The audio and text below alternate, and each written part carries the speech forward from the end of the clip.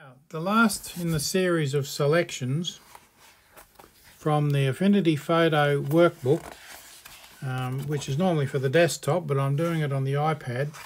I've been working through the selection part on chapter 2. We're now page 112 for those with the book. Refining a selection and using the iPad to do this. So the first thing I'll do is import the image that we need to use. And it's that one there. Grey background. Now I don't want to remove the toolbar so I'll resize that slightly. Now we need the selection tools. So selections, we need the selections persona, which is that one up the top there. See where the blue dot is? That's the selections persona. And we want the selection brush tool. So there we go, Smart Selection Brush Tool. That's that one there on the side.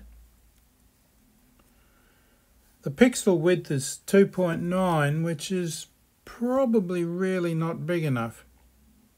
So we need to set that quite a bit larger. You can see about the center of the screen there, there's a white circle as I drag that up there. So that's 157.9 pixels. Let's make it a neat 200. Nice round numbers. And you can see that circle in the middle showing you how big it is. Now this is fairly simple this stage. We go around the girl's hair.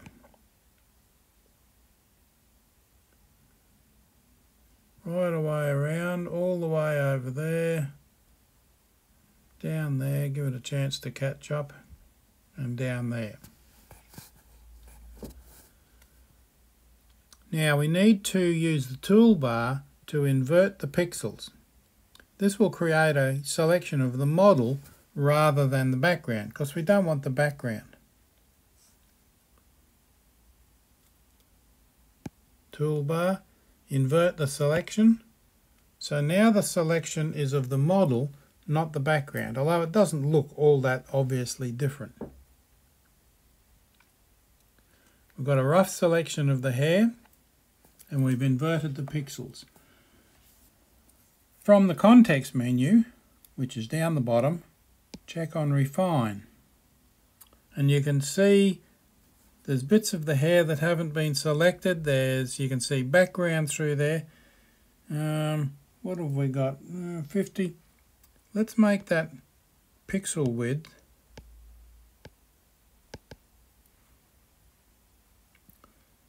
Three hundred. I'm going to watch this Apple Pencil. It's not always terribly responsive. 300 might be a bit big for the iPad, but we'll try it anyway and we'll paint over the the hair that's not in the selection which it's fairly obviously not in the selection we'll go right around the edge in any case picking up all those stray strands the little bits of hair waving around in the atmosphere there let it go and the selection will refine itself and you can see what we've got there is a much more refined selection, which is obviously the whole the, the case in point. We want selection refined. Repeat that process until you've got a nice selection and you can't see any detail showing through that shouldn't be there. Now we go to change the preview from overlay to transparent. There we go. That makes the background transparent and you can easily see that apart from the finest strands of hair here and there that we might have missed, the entire section of the girl's hair has been selected. You can use different uh, preview modes to to um, clarify that if you like, but that's quick enough. Change the output to new layer with mask, then click apply. Now the output's down here. We want to select new layer with mask and apply. If you don't apply it, it won't do it. That should have applied it. The original layer will be hidden. We can should be able to see that. That should be up there. And there it is. You can see the background, which is the original image, is now hidden and everything else is on a layer mask. Why is that important? Because layer masks are a powerful non-destructive approach to image editing.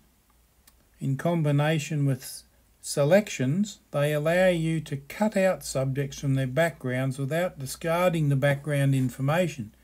You can also go back and alter or refine the selection at a later date to improve it.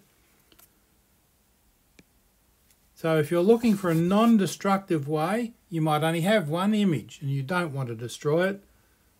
That's how you can do it with with the uh, refining the selection.